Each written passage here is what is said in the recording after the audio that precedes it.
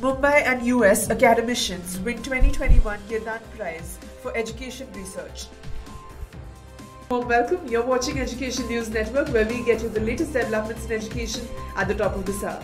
This is Nitya reporting from ENN and the daily stories are in a big achievement for India, the founder of Pratham Education Foundation, Dr. Rukmini Banerji, was awarded the 2021 Yidan Prize, the world's highest education accolade. This year, Dr. Banerji and Professor Eric A. Hanushek were awarded the prize to recognize their exemplary work addressing a crucial piece of the education puzzle, improving the quality of education and outcomes for learners at scale. Each laureate will be awarded 30 million Hong Kong dollars, half of which is a project fund, enabling a series of innovative and progressive education projects to scale up and support millions of learners globally.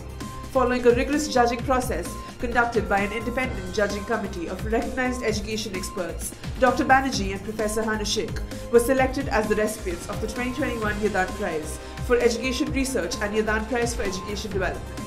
They will join nine laureates who have been awarded the Yidan Prize since its inception in 2016, established by the Yidan Prize Foundation, a philanthropic education foundation. That's all for today. Thank you for watching Education News Network. For more such videos, do log on to our website, theenn.com, and don't forget to like, share, comment, and subscribe.